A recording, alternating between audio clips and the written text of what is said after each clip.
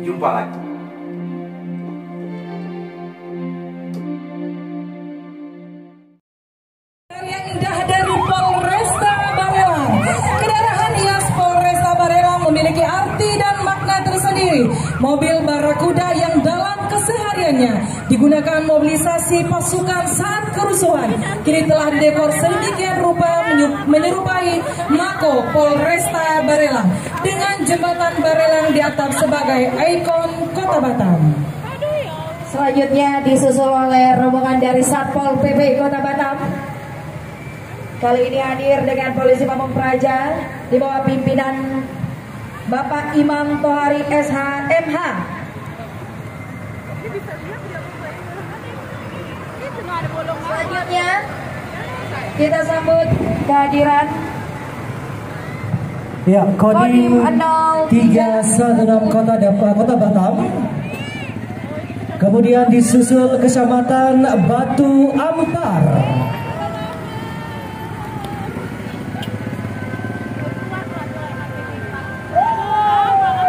Selanjutnya ini dia kendaraan hias dari Kecamatan Sungai dengan tema kapal kargo Pelabuhan Batu Ampar adalah pelabuhan untuk peti kemas terbesar di Batam bahkan termasuk yang terbesar di Indonesia. Pelabuhan kargo Batu Ampar memang dikembangkan sebagai hub logistik internasional dan bisa menyaingi Singapura dan Johor, Malaysia.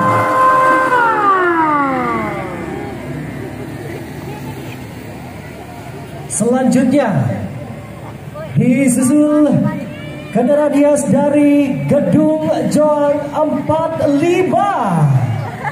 Disusul juga oleh rombongan dari DPRD Kota Batam yang juga turut meramaikan kendaraan hias di mana nanti juga akan kita cari pemenangnya dengan total hadiah 30 jutaan rupiah. Kami persembahkan untuk kendaraan hias terbaik dalam per, dalam uh, peralatan pawai pembangunan Kota Batam. Iya.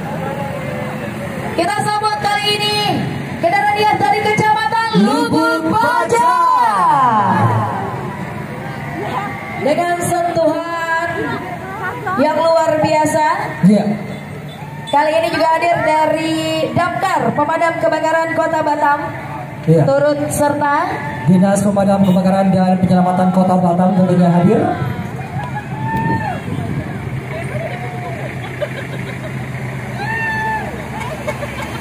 Baik, ya. ini dia para rombongan Iya. pemadam kebakaran pemerintah Kota Batam. Berbagai undangan juga ikut. Kemudian bersiap-siap akan disusul dari Kecamatan Batam Kota. Ya, Kecamatan Batam Kota. Dengan tema kendaraan terus melaju menuju Batam Kota Baru.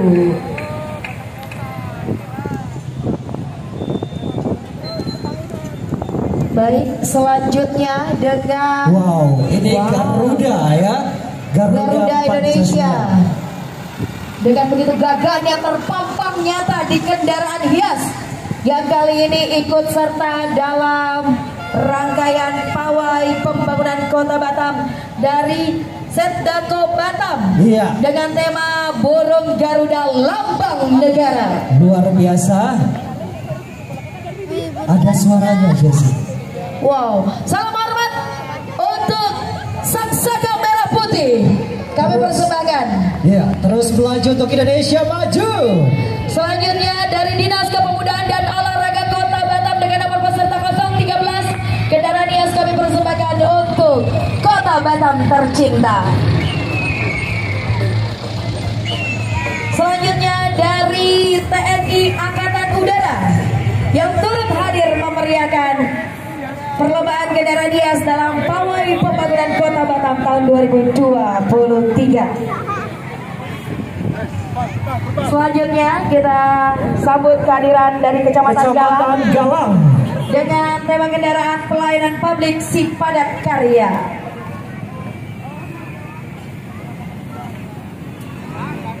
Iya, ini ikut turut juga hadir ya otak-otak LUT Gendang, Abang. Ade. Biasa. Ini dari Dinas Koperasi dan UMKM ya. Betul.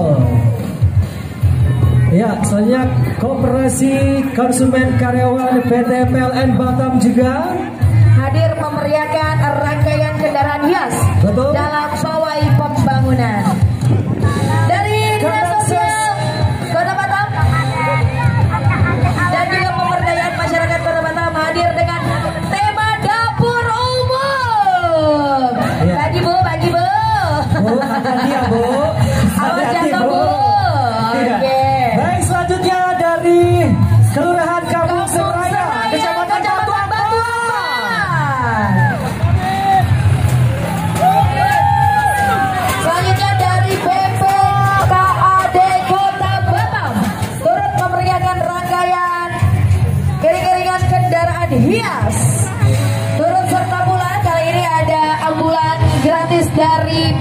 Rizky Rimet Iya, hadir Rimet, ya. memeriahkan rangkaian pawai kendaraan hias. Selanjutnya Sungai Jodoh Oh, tentunya dengan semangat NKRI hadir memeriahkan rangkaian kendaraan hias. dan juga Dari Dishub ya Dishub Kota Batam, Kota Batam Dinas Perhubungan Kota Batam juga turut hadir dengan kendaraan hiasnya kendaraan hiasnya merupakan juga kendaraan deret. Jadi kalau kita salah parkir, eh. hati-hati ya. Lu juga yang bikin juga ya Ya dong. Selanjutnya Wow, kita sambut peserta dari Citra Mas Group dengan tema kendaraan jembatan Barela. Wow Citra Mas Group Suaranya mana?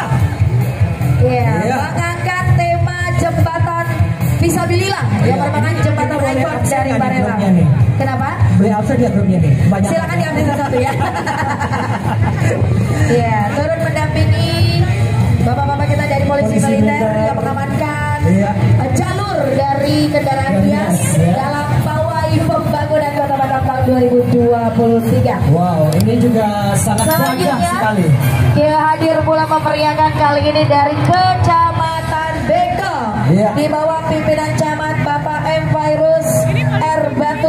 SSTP MSI ya. dan juga Sekcam Bekong ada Bapak Firdaus hadir dengan membawa tema Batam Bandar Madani Batam Kota Baru. Ada pantun? Mobil hias dengan kendaraan lapis baja atau tank.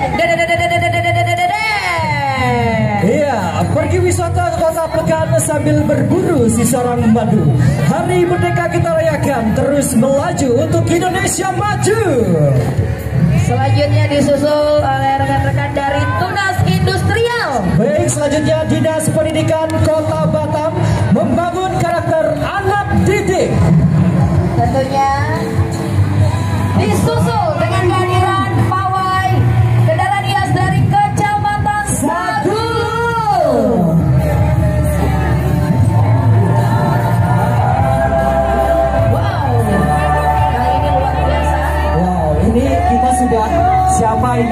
ini? Batam pasti tahu semuanya ini. Betul, ya. ini dia kendaraan hias dari BP Batam yang dikepalai langsung oleh Bapak Haji Muhammad Rudi dan juga diwakilkan oleh Ketua BP Batam Bapak Purwiyanto. Dari BP Batam. Kendaraan hias yang juga uh, memaparkan bagaimana perkembangan dari Kota Batam hadir di layar LED ya. Betul sekali. Selanjutnya ini dari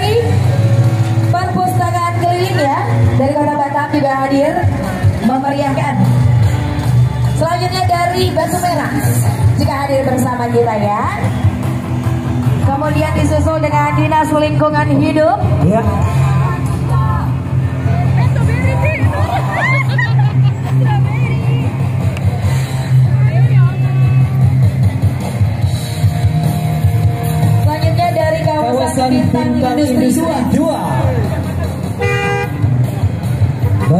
Selanjutnya disusul dari kendaraan hias Kecamatan Bulang. Oke, Kecamatan Tulang mana dada-dadanya dengan benderanya mana semangatnya? Wah, abang-abang kita eh. Iya, dengan tulisan Bapak Pembangunan Kota Batam luar biasa sekali ya. Selanjutnya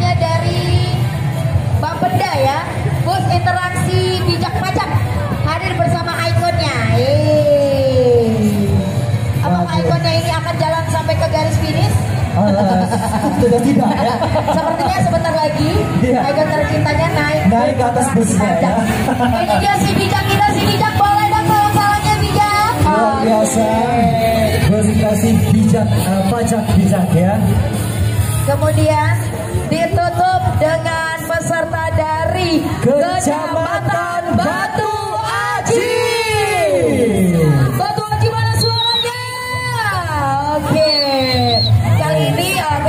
bertema tank ya.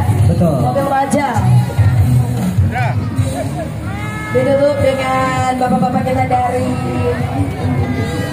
polisi Kota Batam yang turut mengamankan rangkaian dari kendaraan hias. Bapak Ibu jangan ke mana-mana sambil kita nanti menunggu kembali kehadiran para peserta kendaraan hias Ya. akan kembali dihibur penampilan oleh artis kita tentunya. Baik, langsung saja kita panggil lagi sebuah kita luar biasa sekali Alvin Habib Dadun Akademi Indosiar dan Ica Sonia.